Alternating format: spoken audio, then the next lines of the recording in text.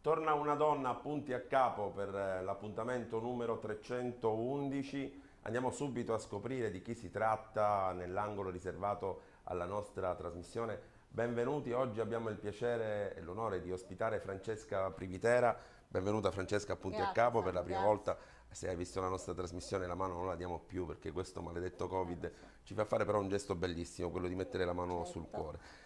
Grazie di essere venuta a punti a capo eh, col maltempo e la, la strada da Catania a Siracusa perché Francesca è di Catania e presentiamo subito ai nostri telespettatori di chi stiamo parlando. Ecco, ho proprio qui una brochure, un, un libretto che mi sono portato appresso dall'ultimo convegno, anzi dal convegno più importante che ha fatto il movimento di cui parleremo, il movimento politico che si chiama Equità Territoriale e che ha tenuto recentemente un, un convegno, un, congresso, congresso. un congresso nazionale eleggendo il suo oh, segretario. Il segretario è Pier Nicola Peticini, che è un europarlamentare che abbiamo eh, imparato a conoscere e di apprezzare, ma la signora che ho qui accanto, Francesca Privitera, in precinto di diventare la vicepresidente non solo dell'Assemblea ma anche di tutto il movimento, ma soprattutto è la responsabile per la Sicilia di Equità Territoriale. Benvenuta, Grazie, che grazie bello averti qua, ti ho Salvo. corteggiato parecchio, Grazie. alla fine ti ho convinta. Eh, abbiamo anche un pubblico di uomini qui alle spalle, ovviamente fanno parte del movimento. Eh, spieghiamo subito ai nostri telespettatori cos'è equità territoriale. Allora, Equità Territoriale nasce eh, tre anni fa da un'amara constatazione che però si sta diffondendo sempre di più nel meridione, e cioè che il Sud non ha una sua voce.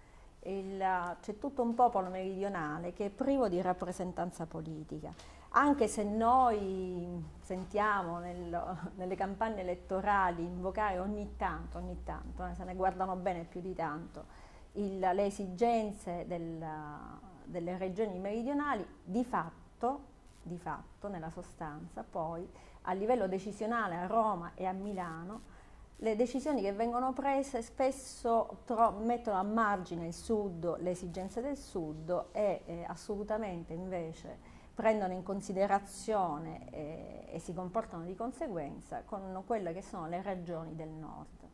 Da questa constatazione nasce tre anni fa su iniziativa di Pino Aprile, eh, che Noto penso molti tutti di voi per- soprattutto conoscono. per sì. alcuni libri importanti. Sì, sì, eh, la cui meritevole iniziativa è proprio questa, cioè quella di mettere insieme tante anime da tante regioni del sud e non solo, anche persone che vengono, che si trovano nelle regioni del nord Italia, che sentono fortemente questo bisogno di rappresentanza.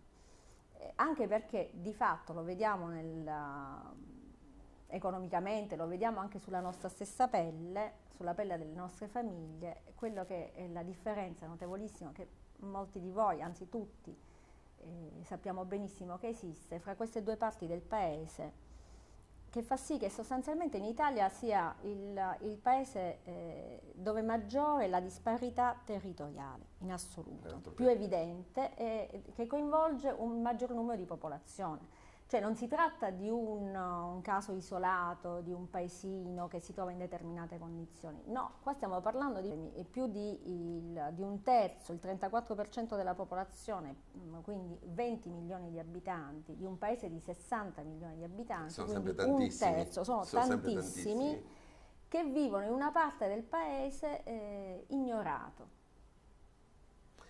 Ignorato. Per Eh, questa ragione nasce il Movimento Eh. Equità Territoriale. In questi tre anni si, eh, si è formato, mm, ci siamo messi insieme da varie regioni d'Italia e, e il- nello scorso congresso di, de- di dicembre a Napoli è stato eletto come segretario nazionale, sì a Napoli, come no, certo. Possiamo dire la capitale del sud perché è talmente Sì, in qualche modo capitale del capitale sud, del però è da, da dire, insomma, le capitali del sud sono tante. Sono tante, sono tante. Ah, non ecco. accentriamo troppo. Catania è sicuramente una. No, per carità, io penso alla la Milano- Sicilia. ma non, vi scoccia quando dicono Catania la Milano del Sud. Catania è Catania, che Milano del Sud. è Eh, Sì, un, è una cosa un po' fastidiosa. Sempre vedi anche questo, sì. il paragone col nord, eh ma è la Milano del sud, no no è Catania. Catania, come, Catania. come, se per riconoscere un merito del sud bisogna esatto. necessariamente esatto. accostarlo, accostarlo, a qualcosa è, del nord, colto, da solo non può andare. Hai colto quello che vuol dire. E no, non va bene. Il nome non è Però, scelto a caso, equità territoriale, cioè Italia tutta uguale. Stessi diritti. Stessi diritti, da nord stessi a sud. doveri. Voglio andare un po', io voglio essere impopolare nei confronti dei nostri telespettatori siciliani. Sono d'accordissimo su questo, infatti sono uno di quelli che fortissimamente ha voluto rimanere qui in Sicilia a lavorare, a fare il giornalista in Sicilia, cosa difficilissima, te lo assicuro, immagino, per la nostra immagino. categoria, mentre i colleghi del nord sguazzano, a parità di lavoro c'è un guadagno improponibile, super dispari, una cosa improponibile, ma ti chiedo, a volte non ci piangiamo addosso, non siamo anche noi colpevoli di questa disparità? Allora, senza dubbio non siamo immuni da colpe, mm, noi meridionali, in assoluto. La prima colpa è quella di non informarci e di non, non stare in qualche modo sul fiato, col fiato sul collo mm, dei nostri politici. Sostanzialmente qual è stata la colpa? Quella di eleggere i nostri rappresentanti nel corso degli anni, da qualsiasi parte, destra, sinistra, 5 Stelle e così via, e poi disinteressarsi delle loro azioni quotidiane e della loro volontà di rivendicare gli interessi del Sud, come se la, ci fermiamo al, al nostro dovere, si ferma il momento in cui mettiamo una croce su un simbolo elettorale e la cosa finisce lì. No, si sta col fiato sul collo, in che senso? Si sta a controllare, informarsi quello che fanno e quello che non fanno, perché se l'avessimo fatto, noi meridionali, ci siamo accorti che nel corso di questi, soprattutto ultimi 30 anni, i nostri rappresentanti non ci hanno minimamente rappresentato, perché diversamente non ci troveremo nella situazione in cui ci troviamo adesso, in cui le regioni del sud sono fra le più povere d'Italia e in particolare la Sicilia è, è fra gli ultimi posti, se non il penultimo, se non ricordo male, posto fra le regioni d'Europa più povere. Nell'ingresso nazionale a cui abbiamo fatto riferimento c'era un sottotitolo, Mozione Sud, che significa? Anche Sud come acronimo di tre parole ben precise. Eh, qual è la necessità?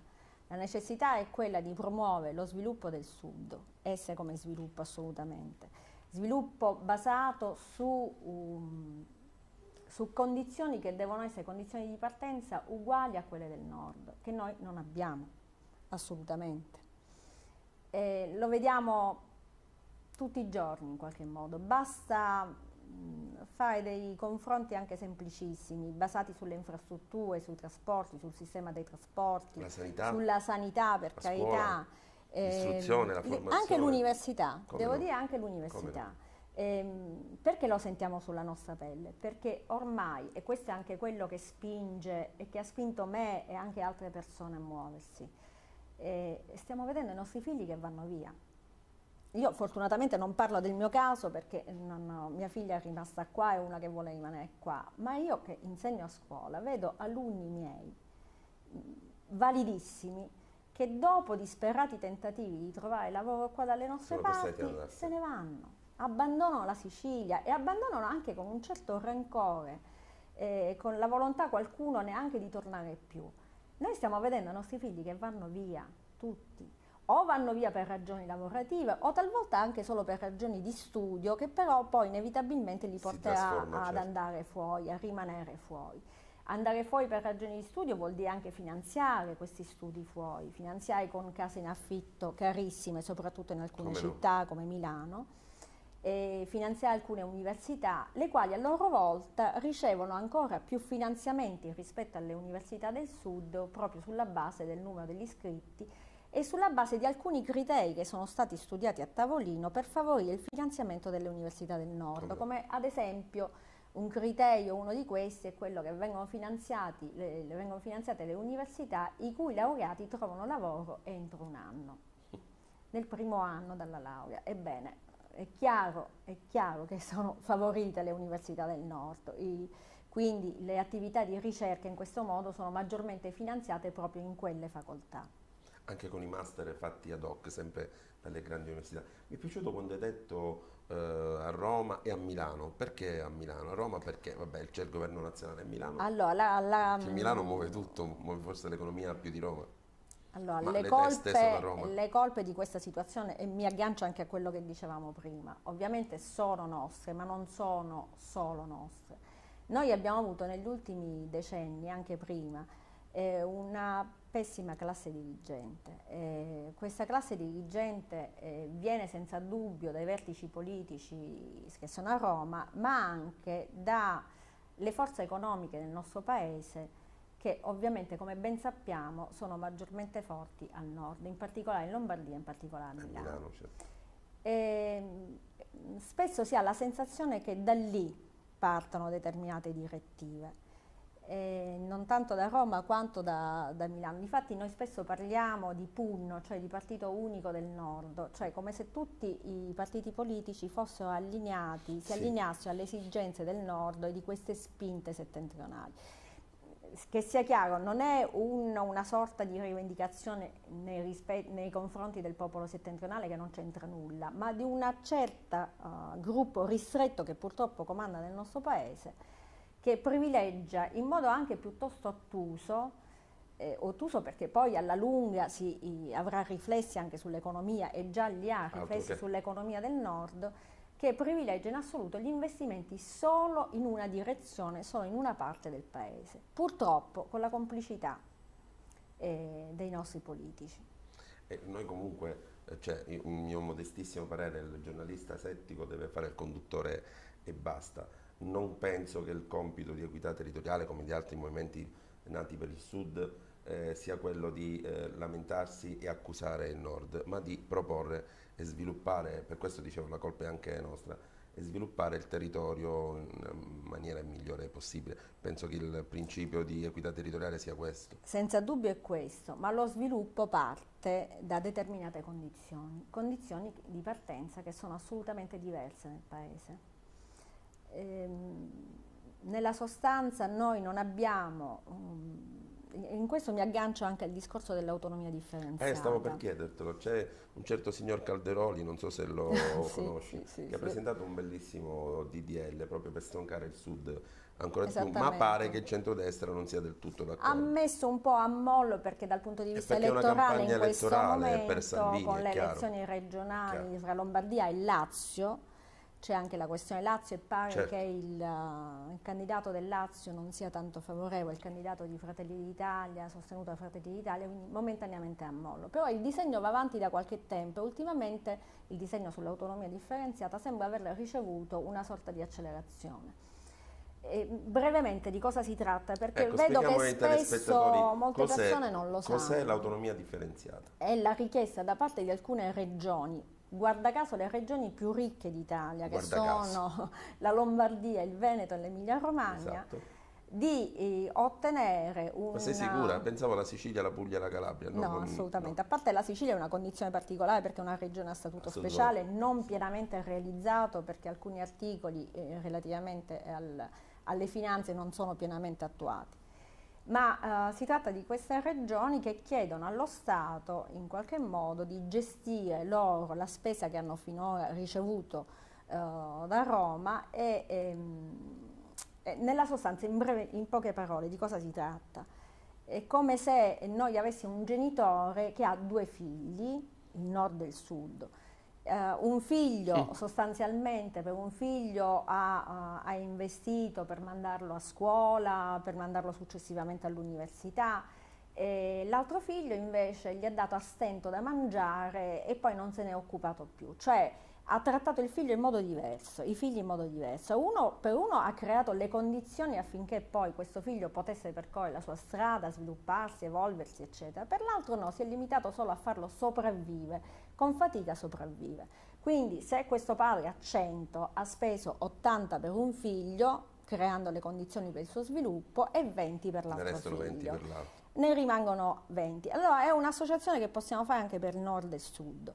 Se non che ehm, Calderoli ed altri hanno voluto definire questo 80 che è stato speso e questo 20 che è stato speso in passato come spesa storica, gli hanno dato questo aggettivo come come quasi quasi a porlo su un, un, un, piano diverso, più nobile, ma non è per niente nobile, non è affatto nobile, perché si tratta di una spesa che è assolutamente stata distorta e che non ha tenuto in considerazione quella che è la popolazione meridionale, che ripeto è del 34% del, rispetto alla popolazione nazionale, che ha ricevuto ogni anno una spesa pubblica che ha oscillato tra il 20, il 21 e il 22%, quindi ha ricevuto molto di meno rispetto a quanto dovuto. Chi ha ricevuto di più è il nord. Eppure il Questo ministro, figlio, diciamo, privilegiato, assolutamente privilegiato. Eppure il ministro Calderoli ha detto che l'autonomia differenziata è la migliore formula per dare eh, la spesa pubblica, per distribuire insomma, eh, i, eh. i, finanziamenti sul territorio nazionale equamente. Eh, non è non affatto così perché, perché, già nella situazione di... Allora, l'autonomia in teoria potrebbe andare bene se ci trovassimo tutti nelle stesse, nelle condizioni, stesse condizioni di partenza. Non siamo affatto nelle stesse condizioni proprio perché nel corso degli anni siamo arrivati a questo punto con un nord molto sviluppato, con delle infrastrutture, con dei servizi scolastici, servizi sanitari, eccetera, eccetera, molto più sviluppati rispetto al sud. Ebbene, questa, uh, diciamo, questo riequilibrio potrebbe avvenire attraverso i famosi LEP, che poi utilizzano questa terminologia sì. che sembra fatta apposta perché la gente non capisca, non capisca, niente, cioè livelli essenziali di prestazione. In che senso livelli essenziali di prestazione? Se eh, mette sullo stesso piano oh, questi servizi pubblici in tutto il paese. Ora, mm, ritornando all'esempio di prima, se si dovessero stabilire questi LEP, ritornando al papà che ha due figli trattati in modo diseguale, cosa dovrebbe fare il papà? Cercare di farla sviluppare anche il figlio fino a quel momento trascurato e, e finanziando magari la sua attività universitaria, la, la, la, finanziando se lui vuole intraprendere un, un, percorso lavorativo e così via. Ma per finanziarla avendo sempre 100 dovrebbe aumentare quella quota di 20 certo. e per aumentare quella quota di 20 dovrebbe togliere qualcosa al figlio a cui ha dato 80. Questa è la ragione per cui i LEP non vengono mai definiti e tantomeno finanziati. Perché questo vorrebbe dire che per riequilibrare la situazione bisognerebbe togliere quel tanto in più, e c'è, che è stato dato al, al figlio privilegiato del nord. E questa è una questione che viene rimandata da tantissimi anni. Ti posso chiedere una cosa, sì. ma credo che sia chiaro a tutti. Il padre, il genitore di questo figlio del nord e questo figlio del sud è lo Stato. Certo. È lo Stato, esattamente lo Stato. Eh, lo allora... Stato che è questa entità che a noi sembra astratta, ma che nella sostanza poi è formata da coloro che abbiamo eletto tutti, nord e sud, e che sono lì a Roma a rappresentarci e a prendere determinate decisioni. Eh, ma adesso noi siciliani abbiamo un presidente che è stato ministro dello Stato. Eh, che fa Schifani secondo te? Che può allora, fare? Allora, mm, è stato... Era meglio che non te lo chiedevo. Appunto stato presidente del Senato eh, e non mi risulta, anzi secondo me è stato proprio un complice di questa, di questa, di questa situazione. Ha fatto parte del governo Berlusconi, è un berlusconiano, è mm, Berlusconi che è sempre stato alleato della Lega, che guarda caso, proprio da quando c'è la Lega, non che prima lo Stato abbia avuto una grandissima attenzione sì, per il Sud, però possiamo dire che magari negli anni 50-60 con la cassa del mezzogiorno quantomeno qualcosina è stata fatta. Infatti quelle poche infrastrutture che abbiamo risalgono a quell'epoca, eh? dopo è stato fatto ben poco. Però guarda caso da quando c'è la Lega nello, sullo scenario, è apparso la Lega sullo scenario politico italiano, all'improvviso, o quasi all'improvviso, comunque sicuramente nel corso degli ultimi 30 anni, di Sud si è parlato sempre meno e purtroppo devo dire anche quelle volte in cui se ne parla, talvolta se ne parla in termini denigratori, proprio denigratori. Prima di mandare in onda i contatti della trasmissione, Francesca, un'ultima cosa ti volevo chiedere. Sì. Eh, ormai siamo molto vicini a delle elezioni amministrative importanti. Io credo che si parta sempre dalle elezioni amministrative, forse sono le più importanti di tutte, dare un governo, un'amministrazione al proprio territorio. Su Siracusa Catania, Ragusa andranno alle elezioni. Cosa ti aspetti? Soprattutto su Catania, visto che tu sei di Catania. Allora, ehm, il movimento sta, si sta guardando intorno perché la situazione è estremamente delicata. Eh, stiamo partendo da una situazione di grave eh, sviluppo in un contesto con un'inflazione altissima, con, no, con una situazione mh, veramente drammatica. Il, vedo anche che intorno anche ai partiti più consolidati non si stanno sbilanciando più di tanto. In che senso? Ancora le, le candidature a pochi mesi dalle elezioni non sono ben chiare, sì, come se ognuno aspettasse il passo dell'altro. Sì. dobbiamo fare molta attenzione, soprattutto perché, perché il, i prossimi nostri amministratori saranno coloro che in qualche modo si occuperanno di gestire anche i fondi del PNRR. Ah, Quei fondi vi ricordo comunque in che misura minore quello, di, rispetto a quello che era stato previsto dall'Unione Europea andranno al sud. E, e, la gestione di questi fondi è particolarmente delicata, si tratta di diversi milioni di euro e, e bisogna prestare molta attenzione. Devono essere amministratori capaci, onesti, noi stiamo vedendo se possiamo formare delle liste a sostegno di chi e proprio per questa ragione stiamo andando con i piedi di piombo onesti e soprattutto persone che finalmente rappresentino le nostre ragioni. Vi faccio un esempio, il, uh, nel caso di Catania. Eh, un anno e mezzo fa la Intel, una multinazionale mm. californiana, ha deciso di investire, eh, ha manifestato quantomeno oh, l'idea di investire, di fare un investimento su Catania. E invece? Un investimento considerevole che avrebbe comportato solo, solo all'inizio l'assunzione di mille persone, più tutto quello che ne comporta di indotto. Certo, l'indotto. Ebbene, un anno e mezzo fa chi avevamo come Ministro dello Sviluppo Economico? Giorgetti noto esponente leghista. Giorgetti fece di tutto, si mosse eh, e guarda caso, guarda caso, la Intel ha um, cancellato l'idea di investire a Catania e si è eh, in qualche modo interessata a investire tra il Piemonte e il Veneto. Credo che adesso sia orientato addirittura a investire in Veneto. Sì.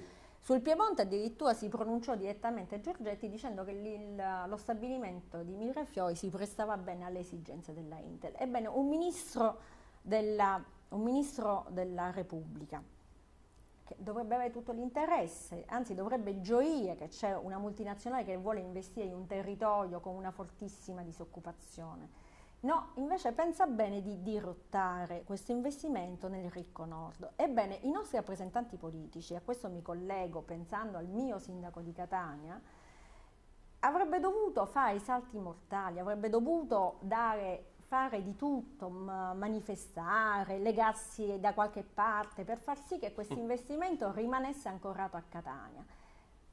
Non abbiamo avuto notizia di nulla. Non, fra l'altro la sua stessa parte politica, eh, sempre la destra, non, non, ha, non, ha, mosso dito, non ha contestato nulla. Cioè è, è rimasto assolutamente inerme, ha subito questa situazione e non ha in questo modo rappresentato a dovere gli interessi della sua città. Lui ha ricevuto la fiducia dei suoi cittadini e l'ha tradita questa fiducia. E questa è una delle tante diciamo, dei tanti esempi. Forse però è quello più clamoroso che ci dovrebbe far arrabbiare ancora di più. Un esempio calzante che spiega eh, tutto, il discorso che abbiamo fatto oggi. Ci fermiamo, linea alla regia per mandare in onda i contatti della trasmissione che vedete in sovraimpressione con il numero telefonico della redazione, l'indirizzo email, la posta elettronica personale a quali vi potete rivolgere per ulteriori informazioni e domande alla nostra ospite, a Francesca Privitera e al movimento politico che lei rappresenta, Equità Territoriale. Abbiamo concluso, è stata una salve. bellissima conversazione. Grazie dell'ospitalità. Io ti auguro di lavorare bene per il movimento e per la Sicilia.